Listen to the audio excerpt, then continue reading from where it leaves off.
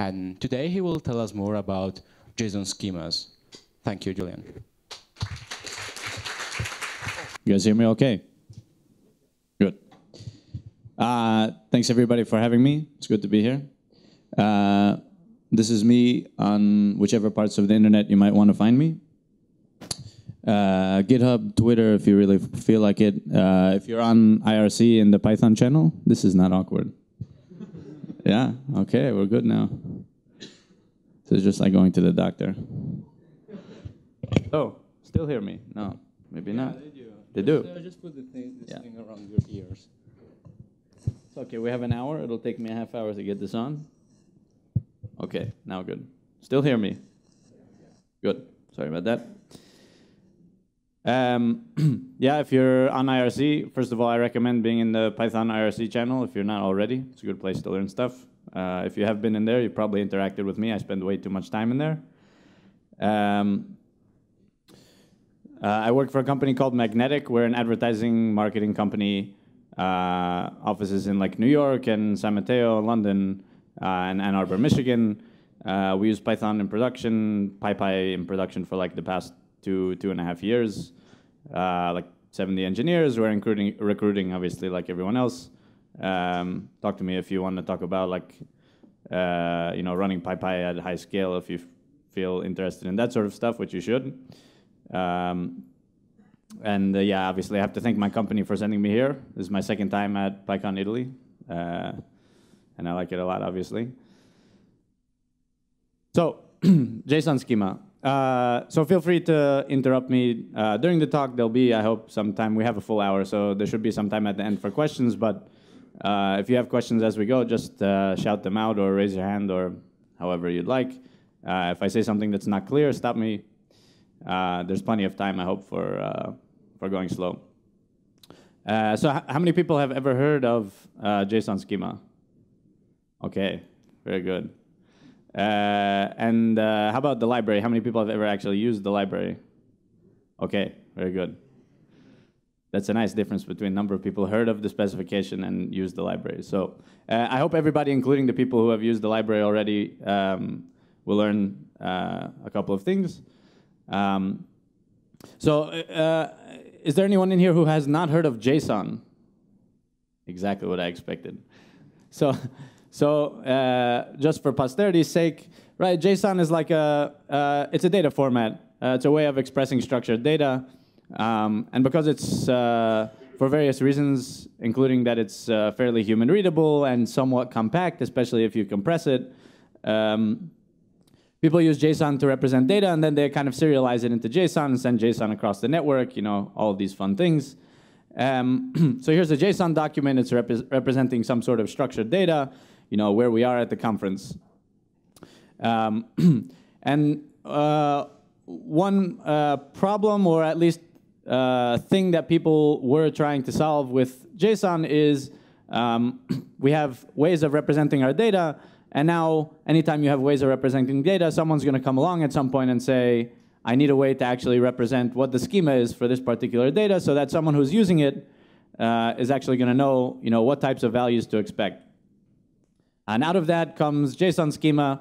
Uh, I'm sure there were other attempts before, um, but JSON schema is uh, attempt at basically being able to define schemas for JSON documents. Uh, and JSON schema, uh, apologies for the confusion because I'll say JSON schema for the specification and uh, sort of it's a cross-language specification which you can use across languages, which is one of the um, major reasons that you might uh, be interested in it. Uh, but I'll also say uh, JSON schema, hopefully I'll try to say the library, to refer to um, this library which I wrote, which has been out for a couple of years now. Um, uh, thankfully very popular, there's a bunch of people that use it, uh, I think at fairly large uh, deployments. Um, so you can find it on GitHub, uh, but uh, we'll be talking about um, kind of using this library to validate and define JSON schemas. Uh, so let's kind of jump right in. So a bit of terminology. Can everyone see that? I realize it's probably a little bit small. Maybe we can bump it up a little bit. But uh, the little tiny text at the bottom. In the back? Good. Um, so just to get some common terminolo terminology, um, on the left there, we call that the instance. Uh, it's the thing that you're going to want to validate. On the right is the schema. So here's our first JSON schema. Uh, it's saying that the instances that we want to validate should be integers. Um, so there's uh, this thing called a validator.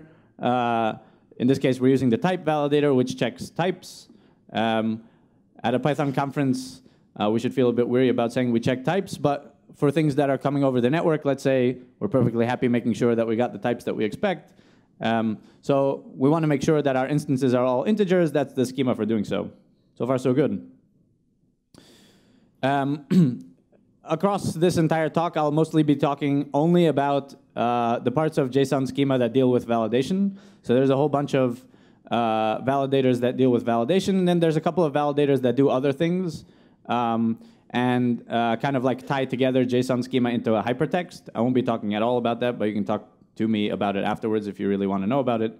Um, but one thing you'll notice right away about the schema is it's just JSON, right? So we're using JSON uh, in some defined language uh, of the JSON schema specification. Uh, so we created a JSON document, and that JSON document specifies the schema for a class of JSON values. So it's just JSON. Um, so here's our first example of how we actually use this thing. Um, so sort of the, the most uh, straightforward or uh, direct way uh, of just having an instance, having a schema, and validating the instance under the schema is there's this like global function that you can just import and call. Uh, it takes as arguments the instance and the schema. So if you pass in uh, instance 42 schema type integer, uh, and then you hit enter, absolutely nothing happens because this function, if the schema is valid, does nothing. Sorry, if the instance is valid, does nothing. Uh, so since 42 is perfectly fine, it's an integer, um, this is going to do nothing. Uh, I would type it into a terminal, but I assume that you believe me at this point, so we'll do some more exciting things in there. Uh, so of course, right after we um, right after we have our first valid example, why not uh, see how things blow up? Because blowing up is fun. Uh, so here we have an instance uh, which is clearly not going to validate under the schema. It's not an integer. Uh, if you pass this into the same place, so you pass in that string with that schema, it's going to tell you a couple of things. Um, so we'll go through these kind of tracebacks uh, in a bit more detail as we go, uh, but just to, just to kind of point, point out a couple of things. So first of all, it's telling you um, the most kind of high-level thing it can tell you is just that 42 is not an integer. Um, so when you get a validation error, you're going to see uh, on, on the same line as the exception, you're going to see um, uh, sort of a human readable message that says why, you know, what, you know, what, what just happened, what went wrong. Uh, and then it's going to tell you a little bit more. Uh, in this particular case, it's not that useful yet, but uh, if your instance is more complicated or your schema is more complicated, it's going to get very useful. Um, so it's telling you it failed while it was validating the type validator uh, in this schema, type integer, and the instance it was validating was this. Um, and you'll see if you watch that area of the trace, traceback, as we see a couple of more of those, uh, you'll see that it gets a bit more useful uh, if you have slightly more interesting examples than this one. Um, so yeah, validate function, it takes an instance and a schema. Either nothing happens, meaning everything's valid, or you get a trace back, which means uh, something's wrong. Um, so you can imagine kind of like uh, you're handling web requests and you're getting data that's coming in from a user. Uh, you stick this on the data that you get from a user, and you either catch the exception and uh, return some response to the user that says the data that you gave me was invalid, uh, or if everything goes fine, you just kind of proceed knowing that the data that you got was valid. Make sense? Any questions so far? No, good. Easy parts. Um, so let's talk kind of very broadly, what are the kinds of things that we can validate? Um, so we saw types, that's the simplest one. Uh, there are like seven basic types. There's like uh, whatever types basically exist in JSON. Uh, and then also there is a type called integer, which doesn't exist, sorry, yeah, which doesn't exist uh, as a type, um, but uh, which exists in JSON schemas. You can say, I have a number, it better be an integer. Um, so like strings, floats, arrays, objects, uh, whatever else I missed. Um, and uh, when, I, when I talk about JSON, I'll try to use the JSON types, so array instead of list. And then when I talk about Python, I'll talk about lists. Um, but you can validate all of those types. Uh, ranges, size, and lengths, right? So if you have some type of container, uh, you can validate that it's of a certain length uh, or that it uh, is a certain size. Um, so if you have a list, you can if you have an array, you can validate that it's at least n elements or at most n elements. Or if you have a string, you can say how long the string should be. Uh, if you have an object, you can say how many properties it should have. Uh, container contents. So if you again, if you have a container, you can say what the schemas of its contents need to be. Excuse me. Um, form. Uh, you can if you have a uh, if you have a kind of like simple type like an integer or a string, um, you can say stuff about what the form of that object should be. So you can say things like this integer should be divisible by seven. Uh, if you have a string, you, should, you can say this string should uh, validate against this particular regular expression. Um, so there are validators for saying that. Uh, and then higher order operators, uh, which we'll talk about later, which are like Boolean combinations of other operators. So uh, let's start getting a little bit more exciting, I guess. Um, so back to our instance before, we're looking to potentially define a schema for this instance. Uh, on the next slide will be way more code uh, or way more things than I generally like to put on a slide, but uh, don't get too uh, frightened. It's not hard to read, I hope. So here's a schema for that particular document. So let's try to read this from top to bottom somewhat slowly. So first of all, we're saying type object. We expect objects. This thing is an object.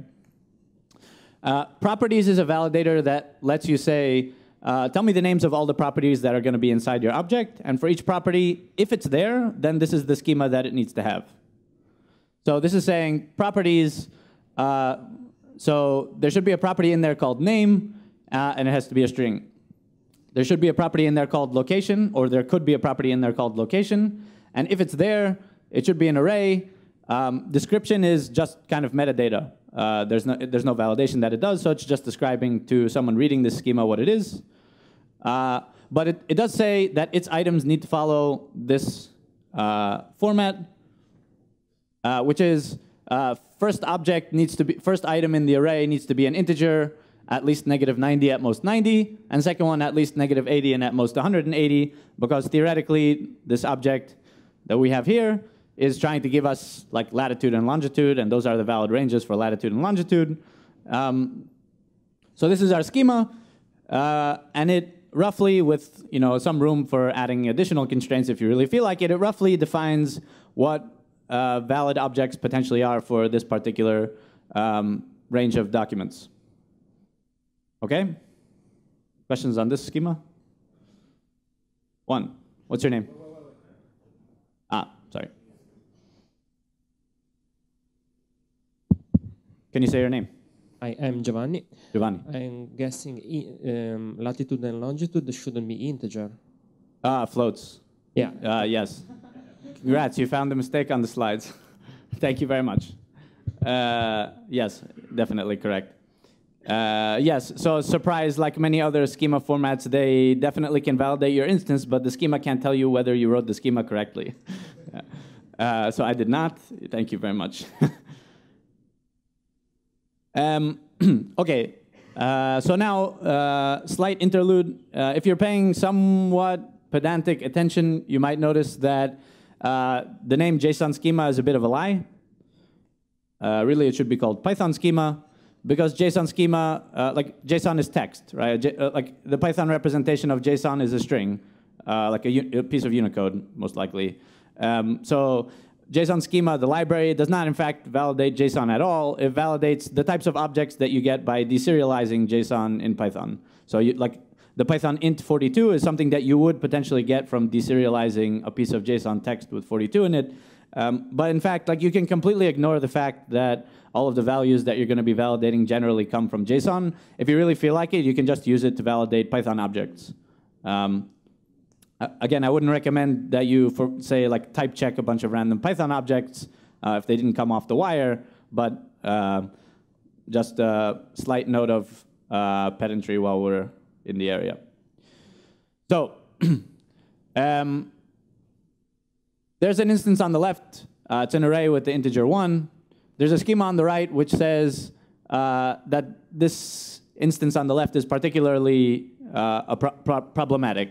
So this schema on the right says that what we should have are uh, arrays. You don't necessarily have to include a type validator. Uh, if you don't, actually, uh, the behavior is perhaps not necessarily obvious. So if you don't say that you're expecting arrays, uh, an object will pass this schema because items only applies to arrays. So if you put items in there and you don't even pass in an array, it's going to be valid unless you say type array. But I didn't include it. So this means basically uh, the items of my array should have a schema of type Boolean. So I'm expecting an array of Booleans uh, with at least two items in the array. So uh, arrays of at least length two uh, that contain Booleans. And obviously, this thing on the left is not such a thing. Uh, in fact, there are multiple th reasons why it doesn't actually satisfy this schema on the right. Um,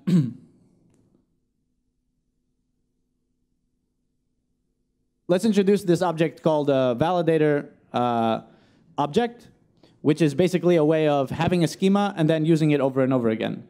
So unlike the validator function before, which basically just secretly wraps one of these guys, uh, I'm going to create my own, pass in the schema that I'm going to want to keep validating with, uh, and then I can just keep reusing it. So we'll have a couple of examples, um, but you just kind of create one of these guys, pass in your schema, and then you can call the same methods that you did before. So just like there's a global function called validate, there's also a method on this object called validate. And if I pass it a bunch of like valid instances, true false is an array of at least length two containing booleans, and another one, an array at least containing two with booleans. Um, again, same, same API, uh, nothing happens, you hit enter, everything validates successfully. Uh, again, same as before, if you pass in the array that we just had, it's going to tell you one is not of type Boolean, uh, failed validating type in schema. Now it's going to tell you it was validating the sub part of your schema.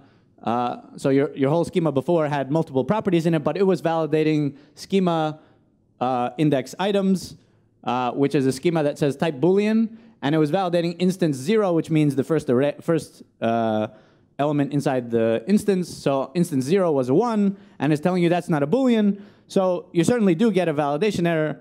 Uh, it's telling you like the, the array that you passed in has an item one in it, and that's not a uh, Boolean, so that instance isn't valid. Excuse me. Sorry. Um, but that's not good enough. Well, certainly potentially it's not good enough. Um, imagine that I'm uh, serving out some response to a browser and someone's typing in stuff into a form, it would be kind of annoying if the person was typing something into a form and the thing that they typed in had 300 errors in whatever they typed in. Uh, but each time that the user sends me a, a, potential input, I validate one error and then I respond back and say, no, that's a problem. And they have to do that 299 times in order to actually fix all the problems in their form. So what happens if I want to see all the problems with the particular uh, instance that was passed in? So there's this method called iter errors, which returns back to you basically an uh, iter, uh, iterable containing all of the errors uh, that were wrong with the particular uh, instance. So if again I pass in this array containing the number one, now I get basically a bunch of objects uh, that have on them a dot message attribute. And if I pull that off, uh, you'll see that there's basically two errors and their messages. One is not a Boolean, and the array containing one is too short. So there were two problems with that particular instance. There they are, and those are the messages for them. Excuse me. So far, so good? Other questions? Okay. And there's a lot of stuff that you can actually introspect uh, about errors. Uh, here's a bunch of uh, kind of broad categories. We'll touch on some of these a little bit more. Uh, but roughly, there's kind of like three categories that you can introspect for uh, when an error happens, uh, like what information can I get kind of programmatically about what the error was. Um, so first of all, there's that human readable message that we saw, uh, which is kind of like what happened. Like I, I, need to be able to show to a developer, not a user. A developer needs to be able to see like what was the raw problem that occurred in this particular um, case. Uh, there's a class of things which are like, okay, so why did that thing happen? Um, which we'll see in a little bit when we talk about um, higher order validators. And then there's a class of things that was uh, talking about basically, okay, so what were we validating when the error occurred? So that's where in the instance, where in the schema, uh, which particular validator were we validating, and what was the value for that particular validator, which is basically all the information that you need to know in order to know what validator was doing what at what time. Um, so you don't have to memorize this, obviously. We'll touch on a couple more of these in a little bit. Um, one thing that's also uh, potentially useful, although, um, well, there were two in here that say they've used the library, but uh, in all the time I've that the, lib that the library has existed, I don't think I've ever seen anyone use this uh, in actual code. Maybe people use it uh, uh, privately when they're debugging, but there's this object called an error tree. Um, so let's see if we can see what this object is doing. Um, so an error tree is an object that just takes a bunch of errors, which is what iter errors returns. So you can just pass in the errors from uh, iter errors on our instance. Sorry, I realize this color is probably a bit hard to see uh, with all the lights on, but that's the same instance as before. Um, and if we uh, if we kind of uh, take this error tree, we can pretty much explore it uh, as if it was our instance. So the interpretation of this is basically the tree is tree zero corresponds to the zeroth uh, offset in our instance, which was that number one. And if we just go down to zero, tree zero, and look at the errors at that point, is going to tell you that at tree zero, there was an error for the type validator. Uh, and here's the error object, which says one is not a Boolean, which means basically you can imagine that the tree is your instance, and you indexed into your instance. Uh, and it's telling you that at that index of your instance uh, was this uh, validation error. And if there are multiple, obviously there will be multiple in there. Make sense? Um, so you can kind of like walk around your instance uh, or walk around something that parallels your instance and just kind of query the errors at any particular um, point inside your, in your instance. Uh, any questions on this? Good. Uh, so if you have nested uh, instances, uh, you would be able to do tree zero, uh, and then if there was an object, you can do tree zero foo dot errors or whatever. okay.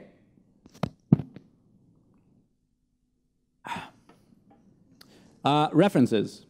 So uh, we're all uh, good programmers. Um, as soon as we start talking about being able to define things, uh, as all good programmers, we're going to want to start to give names to things. So here's an example. um, we're going to have here an object that we're going to want to validate, and it contains kind of three different types of names. Uh, maybe there's a, a, full name, and then a nickname, and then a username. So there's a document with three properties. Uh, all of these things are strings, and all of them should be at least one character, because who has an empty name? Um, so there's a bit of repetition here, obviously. So like all good programmers, we want to remove that repetition. So that's what references are for.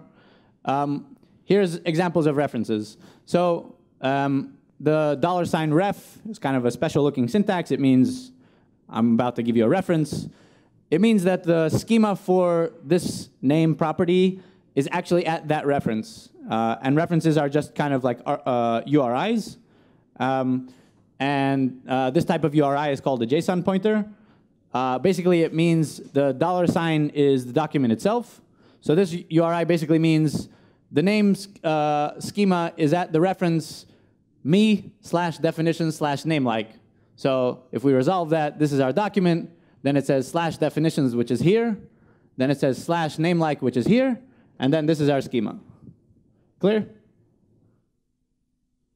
Um, so now we're able to say basically for all three of those names, which I of course spelled one wrong, which he was going to point out in a second. Uh, so all three of these names have a schema of this, uh, but we defined their schemas by reference. And why is that good? It's good for the same reasons that uh, kind of levels of abstraction or naming are always good in programming, which is basically like someone's going to come along in two weeks from now and say like, hey, uh, Jimmy keeps typing in names that are like the entire uh, like War and Peace, and so probably we should put in a limit to how long names could be because there's no reason someone should have a name that's like 10 gigs long. So someone's going to come come along and add like max length 4096, uh, and so if, if you defined your references by name. Uh, now this basically new constraint applies to all three, and someone didn't forget to kind of like update uh, all of the names to make sure that the new change that they wanted to make applied to all of them. So anytime Uh, just like you know, when writing some Python code, if you realize that some things should be related and kept together, you define a function. Excuse me. Uh, same thing here. If you have a bunch of things that you think are going to be related and they should basically uh, be defined together, uh, you define a reference, and then someone can come along and basically maintain the reference on its own. Um, and again, references are URIs, so this is just one example, URLs, URIs. Um, this is just one example uh, of the type of reference you can have, but you can stick a URL there, uh, like a HTTP URL is what I mean now. Um, so you can stick an HTTP URL in there, and that basically means this reference lives at this URL. Uh, and it will go off and retrieve that um, particular uh, thing that lives at that URL and use that as the schema.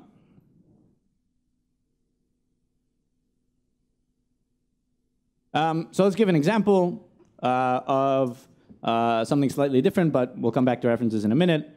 Um, so someone comes to you and says, I want to be able to define a schema for non-empty sequences. So a sequence is the same uh, definition, let's say, as sequence in Python. Um, so a sequence would be, let's say, uh, strings and arrays.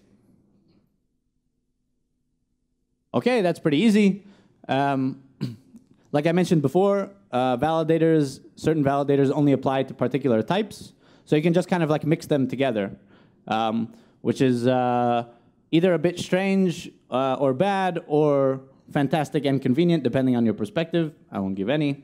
Um, so here's a schema that basically says I'm expecting either uh, a string or an array. Uh, min items only applies to arrays. So you say min items 1 means non-empty array. Min length only applies to strings. So you say min length 1, that means non-empty string. And this schema basically implements non-empty sequence. So far, so good? Uh, now someone comes to you and says, OK, uh, non-empty sequence was good. But now we need a schema for a moniker, a name, or an alias. So here's an example, just in case that wasn't clear, which I'm sure it wasn't. Spoilers if you haven't seen Batman versus Superman. So either they want uh, an S, uh, or they want a document that says someone's name is Clark Kent, or they want a document that says someone's alias is Superman. One of these three things, all of them should be valid uh, for this particular input. So how do we write a schema that basically allows any of these three uh, documents or any of these three types of inputs. Um, so nothing that we've seen so far can do that, um, but we did mention uh, higher, higher order validators, um, so let's use those. So um, there's a validator called one of. Man, excuse me. Um, so one of is a validator that does exactly what it says. It means I'm going to give you a bunch of schemas, and then the instance uh, that you give me has to validate uh, against exactly one of the schemas that you give me. So it can't be zero, it can't be two or more. Exactly one of the schemas that you give me has to validate against it. Uh, and here we're using references again. So we're basically translating the request pretty much exactly as it was given to us. This schema is going to say, I need the instance to be one of either a moniker or a name or an alias. Uh, and on the next slide, we'll look at the definitions for those three. But basically, this is the literal translation of that request there's a validator that just kind of corresponds exactly to, I need one of these three things, uh, or one of any n things. Clear? So here's our definitions. Again, there's a lot on this slide, but it's kind of not very um, scary, I don't think. So um, the definition for a moniker will be it's a string, and it has to match the regular expression pattern, capital letter, at least one or more. Uh, a name will be an object. Uh, required is the name of a validator that says the property has to be there, because remember, properties are not required by default. So if you want something to be required, you put it in there. Um, so name is required, uh, and then properties, name, uh, and it has to be a string. So that's our uh, schema for objects with names, and then our schema for objects with aliases is the same, just name instead of just alias instead of name. Um, so now this thing is basically our entire schema. So if you combine the one of, which says one of these three things, with the actual definitions for what those things are, um, now we have a schema that basically validates either those capital letter things or uh, objects with name properties or objects with alias properties. Make sense? so what happens when we use these things? Um, so if, if you pass in something valid, it'll work. Um, but if we pass in something invalid, something kind of interesting happens, uh, which is worth pointing out. So I passed in here the empty string, um, which doesn't satisfy any of those three things, right? Uh, it doesn't satisfy one or more capital letters. It's not an object with a name property, and it's not an object with an alias property. When you validate this thing, the error that you get just tells you like, empty string is not valid under any of the given schemas. Um, and it'll tell you what it was doing. It says failed validating one of in schema. There's the schema, lots of lines in there because this entire thing was being validated. Um, but it was validating this, um, this schema here um, on instance empty string, which is true, right? Like empty string is not valid under any of those uh, schemas.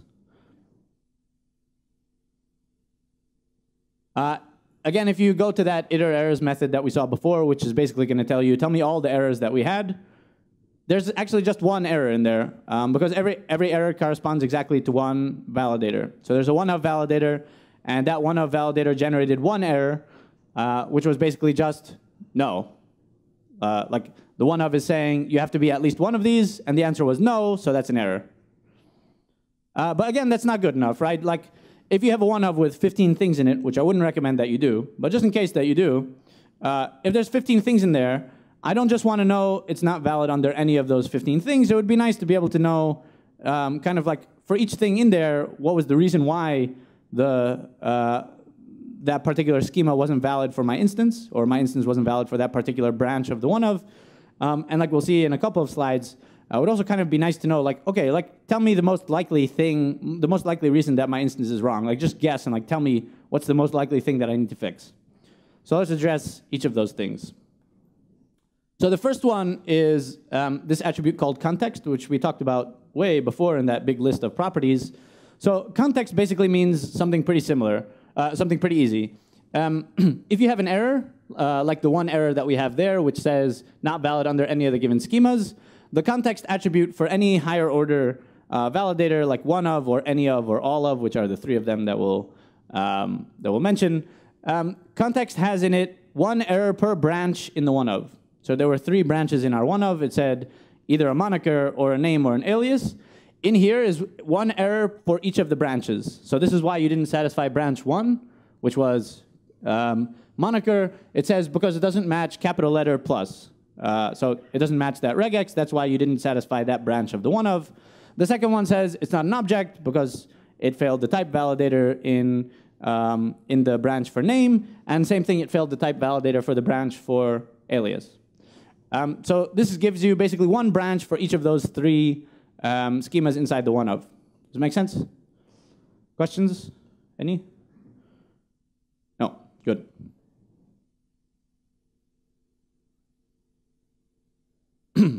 um, and again, it would be a bit nice if, like, just guess what the most likely error is. Um, and for that, there's a function called best match. Um, best match actually, again, also takes a bunch of errors. Uh, and then it returns back to you the error which it thinks heuristically is basically the most likely reason for why your instance failed. Um, so in this case, what we're passing in is iter errors of the empty string, which is that same uh, list of one error that we saw before, or iterable of one error that we saw before. Uh, what it's doing is actually recursing inside that error, picking from one of the branches, and then giving you the error that it thinks is most likely to be relevant um, which I hope everyone will agree in this particular case, it's most likely that someone who passed in that input probably meant to pass in a moniker but didn't pass in a long enough string. So it's telling you it doesn't match A to Z plus and hiding the rest of the errors from you. Um, so just to point it out, there's, uh, there's kind of like three different um, mechanisms for deciding when something goes wrong, which are like, what do I want to see? There's the validate method slash function, which we talked about originally, which basically means stop when you find the first one. I just want to know, yes, it's valid, or no, it's not valid. Uh, and I'm OK with basically short-circuiting as soon as you find one error. There's iter errors, which we saw, which basically means give me all of them. So keep, keep processing the instance and tell me all the errors one at a time. And then there's best match, which basically means still process all the errors, then pick, pick out the one that's most likely to be relevant. Um, and it's not on the slides, although I can demo it after. But there's also actually a key function um, for everyone who's familiar with the uh, key argument to like sorted or dot sort on collections. Um, there's a there's a function that you can pass in called relevance, uh, which if you have a, a iterable of errors and you pass it into sorted, you can say sorted iter errors something key equals relevance, and it will basically sort that list based on what it thinks are the most relevant errors, and then you can do with them as you'd like. Um, uh, okay, let's talk about format, unless anyone uh, has any questions on that topic. Good. Um, so we talked a little bit about form. Uh, format is a way of basically taking uh, simple objects like strings, integers, floats, uh, and defining uh, properties for how they should look. So here's one example. I want to be able to accept strings, but I want strings with format date. Um, date here is defined as a format, is defined by the specification to be a format that basically means, I think, ISO 8601 dates, um, or no, sorry, it's just year, month, day. Um, so uh, by default, actually, the format uh, property or the format validator doesn't actually do any validation. It's kind of just as informative as description. It's like for signaling to someone who's reading the schema what the format should be, not really for doing validation. But if you do want it to do validation, there is an object you can plug in, and it will basically cause the format validator to do validation. Um, so it's an object called format checker. So you import it, uh, we pass in this second parameter to the validator objects that we've been creating all along. Um, so we pass in the same schema, or that schema that we just saw on the last slide, and we pass in this new object called a format checker. And if we do that, um, and we validate this thing, which is not a date, it's going to tell you validation error 2014-01 is not a date. Here's the schema it was validating. There's the instance it was validating, very familiar traceback, same as we saw before. And you can define your, your own uh, formats if you'd like. So imagine for whatever bizarre reason, you want to be able to define uh, a schema that says that you accept integers and they have to be prime. Um, so assuming that you have some existing prime checking function like Miller-Rabin, um, you can create uh, a format checker.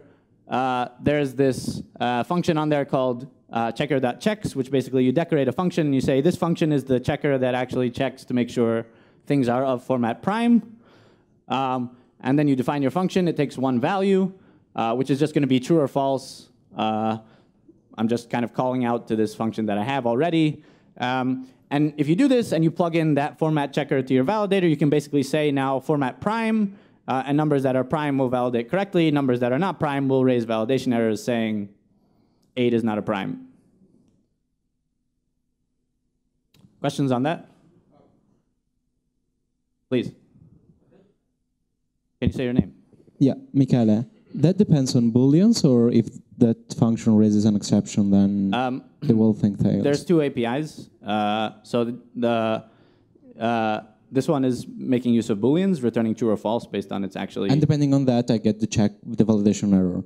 And if I get uh, if I input a string to that function, then I have uh, another a value error, and that triggers a validation error or a value error. Uh, so uh, if you do nothing, it will trigger a value error. Uh-huh. Uh, there's a second argument to this function here that says the, where you can say comma raises equals, which is basically a tuple of exceptions.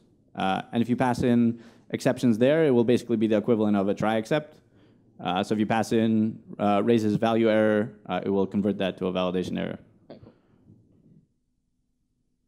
Other questions? Was there a hand? I saw someone. No. Okay. Uh, meta schemas. Okay, uh, a couple minutes left. Uh, meta schemas are, uh, everyone likes talking about metaprogramming. Um, meta schemas are somewhat obvious, right? Uh, because our schemas are JSON, we can define schemas for the schemas in JSON. So here's a schema. Uh, it happens to be invalid because like the type validator takes either a string or an array of strings. Um, so I passed in an object. Uh, if I call this method on validator's class method called check schema, what this means is basically take this schema and validate it against the meta schema. Uh, I'm not going to put the meta schema on the slide because uh, it would run off 10, uh, not 10, but it would run off like three slides. But if you call this method, um, at least the subsection of the traceback you'll get is this. It's telling you schema error, very familiar looking traceback, it's exactly the same. Kind of uh, not so secret is basically like nothing special happens here. It just runs through the same code that validates instances against schemas, except now your schema is the meta schema. But here's a selection of the meta schema. So it's telling you failed validating any of in schema properties type. So schema there is the meta schema. It's telling you it was validating uh, in the meta schema the property, the type property, which is the schema that should apply to any of the type uh, properties inside schema. And the meta schema says that an any of, or, or sorry, that uh, the argument to type validators needs to be any of the following things. Either a simple type, which is one of those seven types I mentioned before. So you can either say type string or an array with at least one object in it, with at least one element. Uh, all of them have to be unique. Uh, and each of the items have to be one of those simple types. So that, that any of basically implements exactly the logic that I just described, which is either you tell me type string, or you tell me type array, string, integer. Anything else is invalid. So it's telling you it was trying to validate that subsection of the schema on this uh, value inside your schema, which is an object. Uh, so that's not valid. So your schema is not valid. And of course, like I said, there's really nothing special going on here. If you really feel like it, you can create a validator object, pass in as your schema the meta schema, uh, which is just an attribute on every validator. Uh, and then you can use iter errors to get all the problems with the particular schema. So now I have a schema with uh, two problems in it. Uh, if I go through and iterate through iter errors for this particular schema, it's going to tell you error number one is that uh, minimum takes a number, and error number two is that that thing is not a, one of the valid uh, inputs for type. Clear? Uh, okay, I have one last um, kind of like little uh, live coding exercise maybe. Um, before I do that, um, I'll uh, send out links to the slides, uh, maybe tweet them out, and probably they'll be available on the presentation, I'm sure. Um, but uh, just to go through these, so here's a bunch of resources that you might want to check out. The top one, you can install the library in uh, kind of the normal way. Um, this second thing is a tutorial on the specification. So if you go to this, this link, fourth link over here, that's the specification site, but it's kind of written in very typical, uh, like uh, submission to the IETF form, so you might not necessarily find that to be the most approachable resource. Um, so the second link over here is more kind of like little handholdy, uh, typical tutorial uh, for teaching you how to write JSON schemas if you want to go a little bit slower or at your own pace. Um, this third link is the read the docs documentation for my library. Um, this fourth, uh, fifth link is uh, not necessarily of interest to people using the library, uh, but it's kind of just an interesting thing to look at. It's basically a cross-language specification, or sorry, a cross-language test suite that you can use to write JSON schema validators. So for example, um, you invented your own very cool language, uh, programming language, and you would like to be able to validate uh, JSON schema in your new programming language, uh, or in some language where it doesn't exist already. Um, this test suite is a bunch of JSON documents which basically say, here's an instance, here's a schema, is it valid, yes or no? If you pass all the tests of that test suite, your validator probably works. Uh, your library probably works. Um, so I wrote most of that also, but uh, if you do write a validator, I would probably recommend that you, uh, that you run it under that because it is fairly comprehensive. Uh, and this bottom thing uh, is actually kind of cool. I'll show it. Um,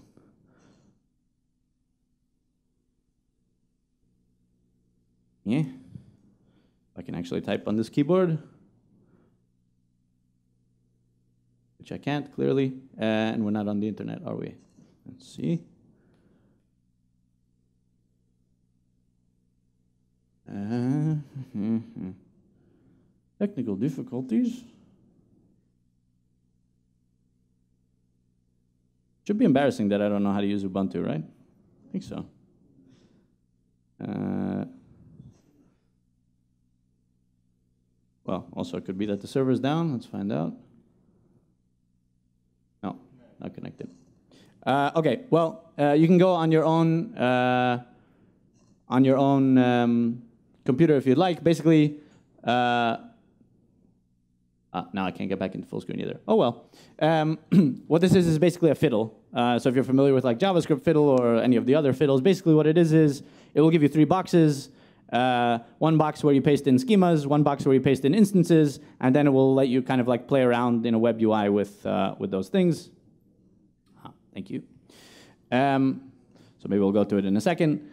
Uh, and then, yeah, like I said, uh, we can do a little live coding, uh, but I think maybe first we can stop for any questions at all on anything random.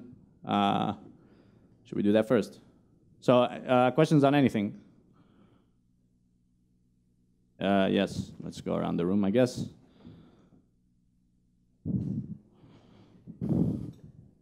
just say your name, please, first. Hi, my name is Pietro. Pietro. okay.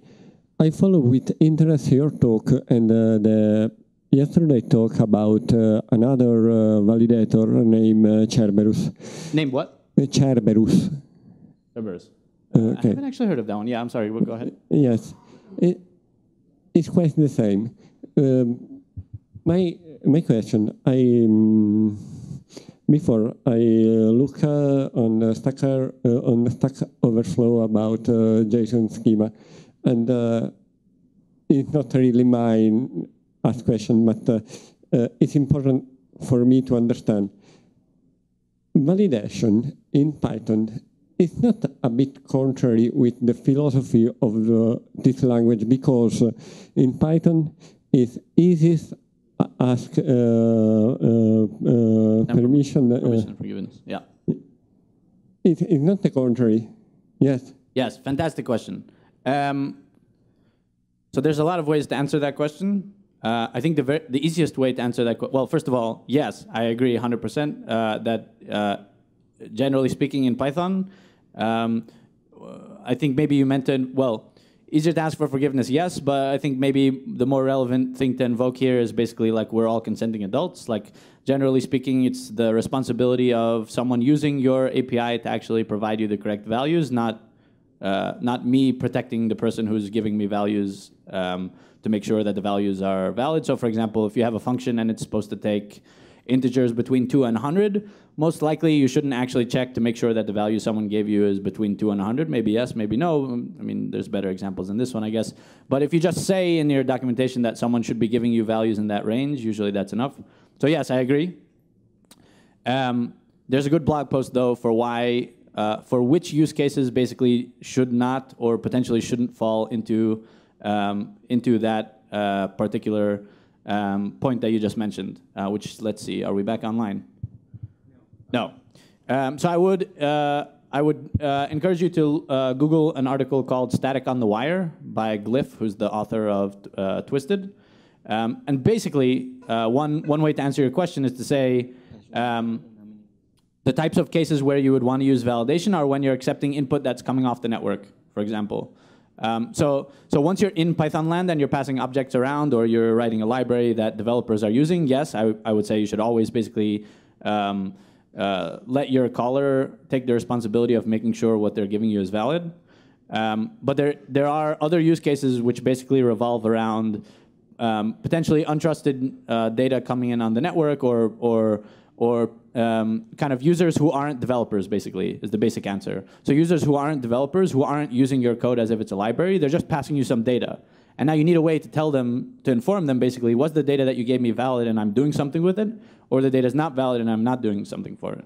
Um, and those are the sorts of use cases where something like this will pop up, is when you're handling data that's coming in from the network, from, from a user who's giving you data, um, and you uh, and you need to be able to tell them, yes, I'm accepting what you gave me, or no, I'm not accepting what you gave me. Um, within Python land, yeah, I wouldn't recommend that if you're creating a library uh, and you need to say like, uh, you know, this this function takes strings. I wouldn't recommend that you wrap that function with a thing that first validates it against type string. Uh, that's a bit of a short answer. I think the blog post maybe is a bit of a longer answer for other similar use cases, but it's it's a good topic to discuss. Yeah. We're good. Uh, okay. Uh, other questions? Yes. Your name, sir.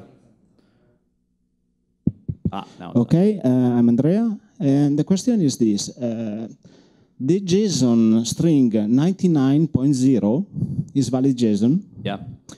But it is uh, now, actually. You know, it wasn't like a year ago.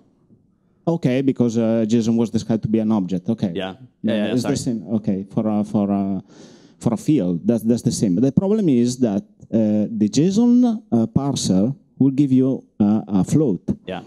And so won't validate against a schema with an integer. While instead, the- for example, the web uh, uh, the web page validates. Yeah. So 99.0 is valid JSON for a schema with integer.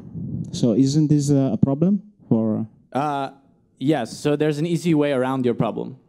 Uh, so remember the part where I said that JSON schema actually validates Python objects. So the, for example, the standard library JSON module um, has in there a bunch of hooks where you can plug in to define what the target Python data type is for particular bytes in JSON that it thinks are about to be a float. So if in the JSON uh, module you pass in, uh, I think it's called float type, float underscore type. If you pass in argument float underscore type and you pass in the decimal dot decimal class, for example, you'll get decimals. If you pass in uh, some other type that you'd like to use instead of float, you'll get those objects. Um, if you're trying to, uh, so, so your question was about 99.0 being Yeah, the problem is that 99.0 is an integer. Yeah. But So it doesn't that- validate with JSON schema library. Yeah. So that I think is because you used it on the that JSONschema.net uh, webpage. That's probably because it's using uh, JavaScript uh, validator, and JavaScript doesn't ha- only has one number type. So yes, it's a problem. It's a problem mostly for JavaScript, where it's always a problem. Like in JavaScript, you have no way of knowing like what's what type of number this is. So yes, for JavaScript validators, they'll they'll have issues distinguishing between the different number types. In Python, thankfully, we have no such issues, so we're we're okay.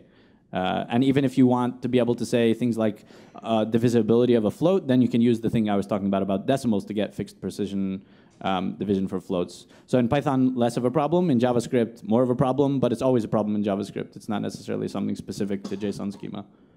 Does that make sense? Okay.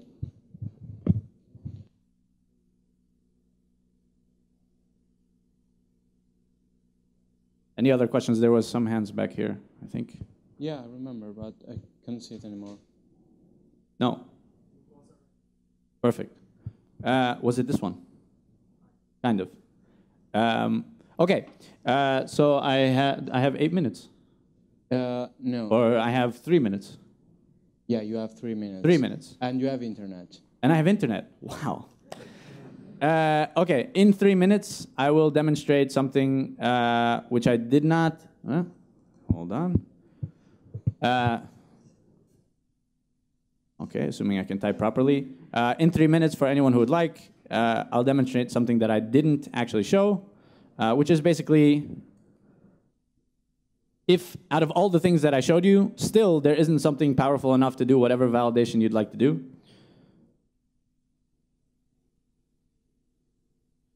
There are functions in here called like create and extend.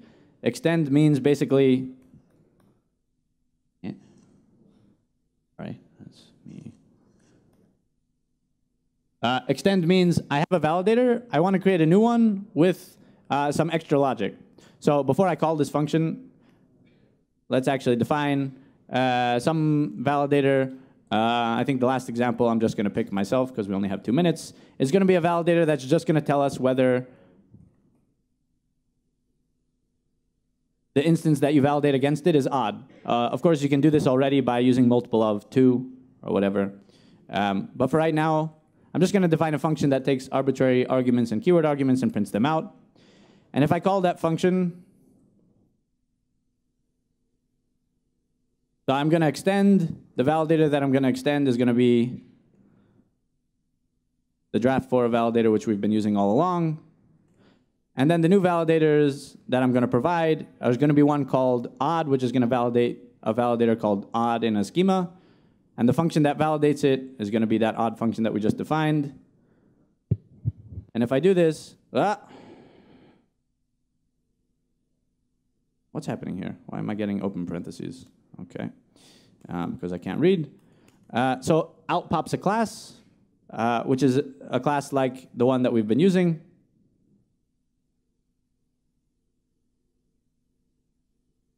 I pass in type integer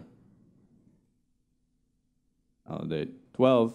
See, that works just like before. If I pass in, oh, this is me being an American right now. Where's the quotes? We play the fun game. Well, let's do array instead. It's keyboard, dude. It's uh, okay.